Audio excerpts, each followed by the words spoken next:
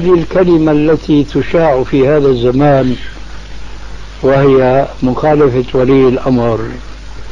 هذه مع الأسف كلمة يستغلها كثير من الدعاة الذين يزعمون أنهم من الدعاة إلى الإسلام. لا يجوز مخالفة ولي الأمر. أنا أقول معهم لا يجوز للمسلم أن يخالف ولي الأمر. لكن ما صبغة ما صفة هذا الولي. لكني أريد أن أبين الحكم الشرعي في من هم أولياء الأمر الذين يجب إطاعتهم.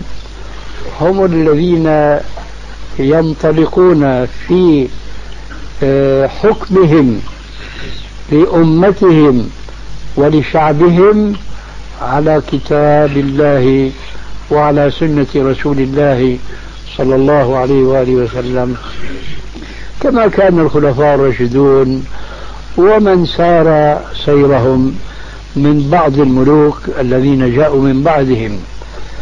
هؤلاء الحكام الذين يضعون نصب أعينهم تحكيم الشريعة يجب إطاعتهم.